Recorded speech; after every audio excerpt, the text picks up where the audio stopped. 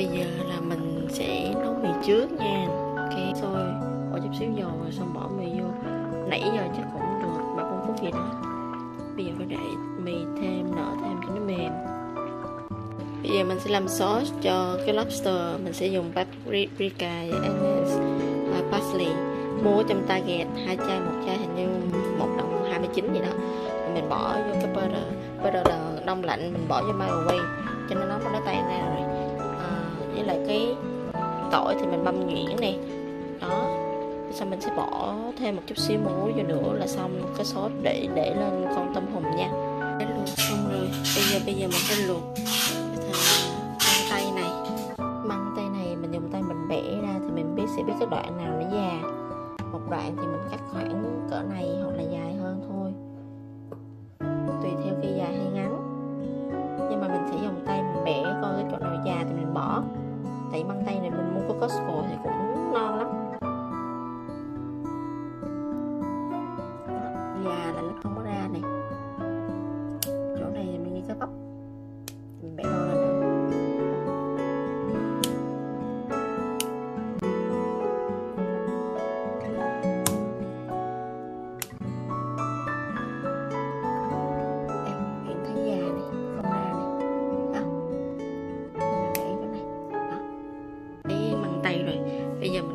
Cái nước luộc mì hồi nãy trần sơ qua nước đó là được. Chút hồi mình xào nó sẽ tươi ngon hơn không có bị mềm.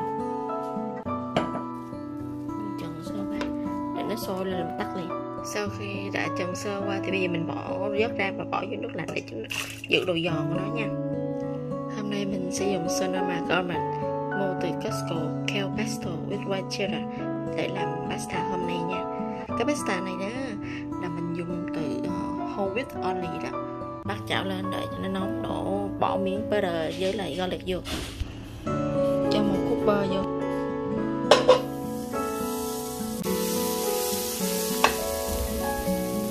Để bơ nó chảy ra mình bỏ garlic vô nha. Để sau khi mình bỏ garlic vô này đợi cho garlic vàng chút xíu, mình sẽ bỏ sốt vào. Sau đó mình sẽ bỏ mì vào trộn lại một lần nữa. Bắt đầu mình bỏ sốt cho nha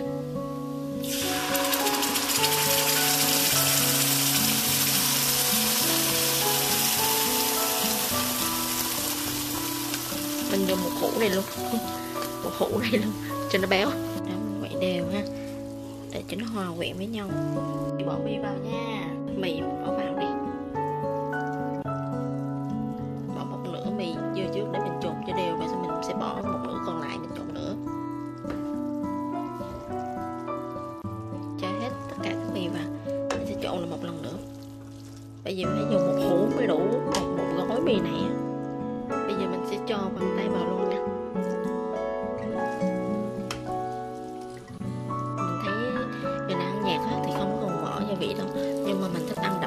xíu cho nên mình bỏ thêm một chút xíu bột nêm. Qua làm tôm hùm nha.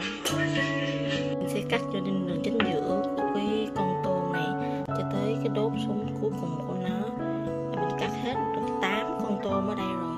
Bây giờ mình sẽ lôi cái thịt của nó lên và mình đẩy lên trên cho nó đẹp nha.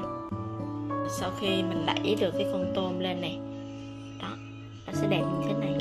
Đó bây giờ mình sẽ làm hết 8 con. Mình làm xong là mình sẽ rắc một xíu tiêu một xíu uh, muối vô. Bỏ tỏi với bơ vô nha. Bây giờ mình sẽ để một xíu paprika vô nữa cho nó đỏ đỏ cho nó đẹp.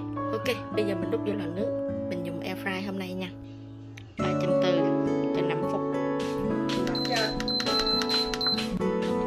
Mình nướng được 5 phút này bây giờ mình sẽ cho thêm bơ tỏi vào cho nó thấm đều luôn. Rồi mình sẽ để 4 phút nữa